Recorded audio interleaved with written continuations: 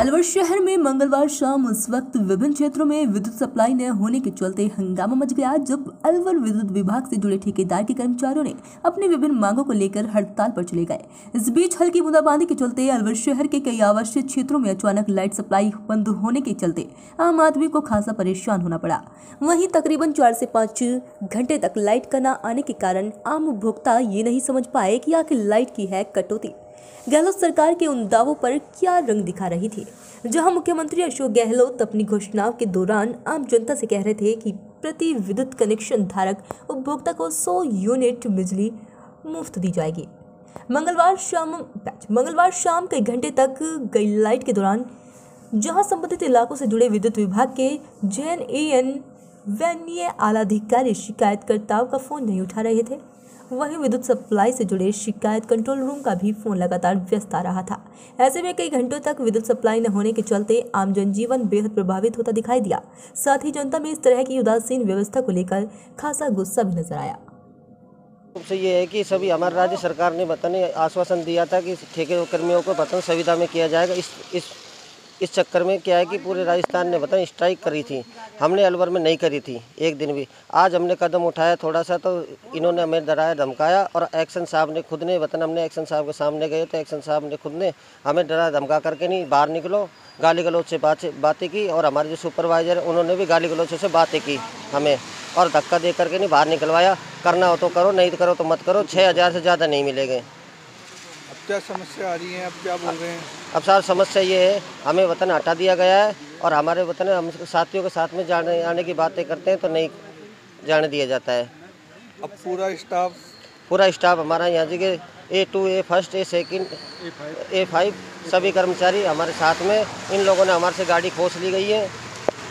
गाड़ियाँ थी जो सरकारी गाड़ी जो एफ़ आर टी की वो सारी गाड़ी खोस ली गई है और हमें है न पिटवाने तक की पुनित है सुपरवाइजर एफआरटी का उसने हमें पुलिस की धमकी दे रहे हैं तो मैं पिटवाऊँगा ये करूँगा इस तरीके से और एक्शन साहब ने खुद ने धक्का धूमी दिलवाए गार्डों से और बाहर भगवाए हमें।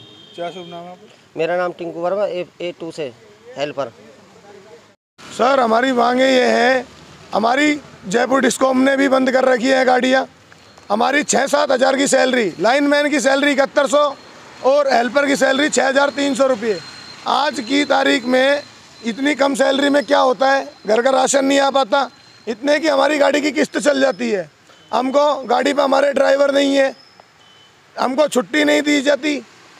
और अधिकारियों के परेशानी होकर और हमारे जो सुपरवाइज़र हैं, उनसे परेशान होकर हम ये यहाँ पे खड़े हैं, धरना प्रदर्शन दे रहे हैं। इतनी रात को बारिश हो रही है, सारे भीगे पड़े हैं साई भाई।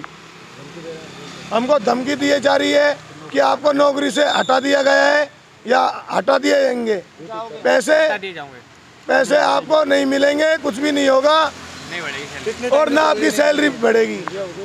हमारी हेल्पर की सैलरी छः हज़ार तीन सौ है और कितने टाइम से नहीं बढ़ रही है? टाइम कम से कम छः साल सात साल हो चुके हैं। अभी बीच में आठ आठ सौ रुपये बढ़ाए थे वो भी हमारे घटा दिए हैं। अब नई कंपनी आई है थोड़े दिन पहले उसमें भी कोई वो नहीं है। कंपनी आए जा रही है, आए जा रही है, सैलरी घटाए जा रही है। कोई बढ़ोतरी नहीं कर रहा है।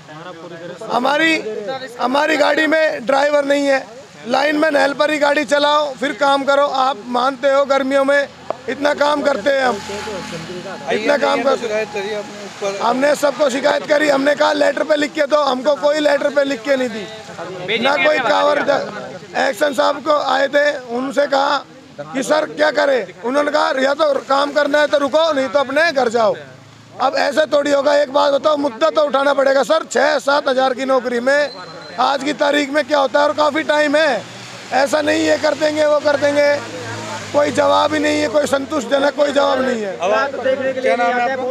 और नौकरी नौकरी आज है कल नहीं है कोई पता नहीं है कोई कोई नहीं देता कि हटा देंगे। आप मेरा नाम कैलाश सिंह है पार्टी हेल्पर ए थर्ड।